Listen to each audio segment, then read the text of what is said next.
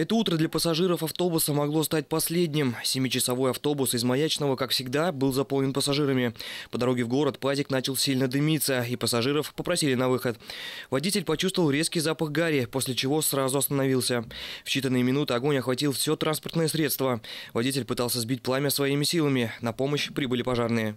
Проверкой было установлено, что э, горел, полностью сгорел автобус пассажирский, соверши- совершавший рейс по маршруту Маячный Кумертау.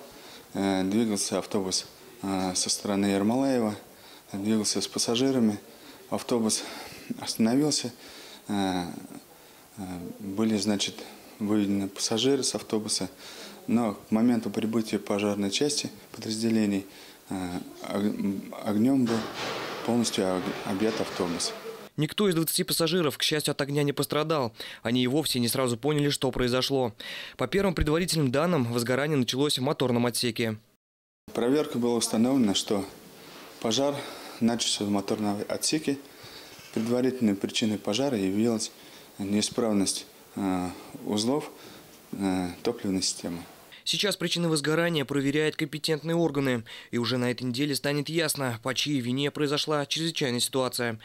Константин Меркшев, Ярослав Кондратьев, телекомпания «Арис».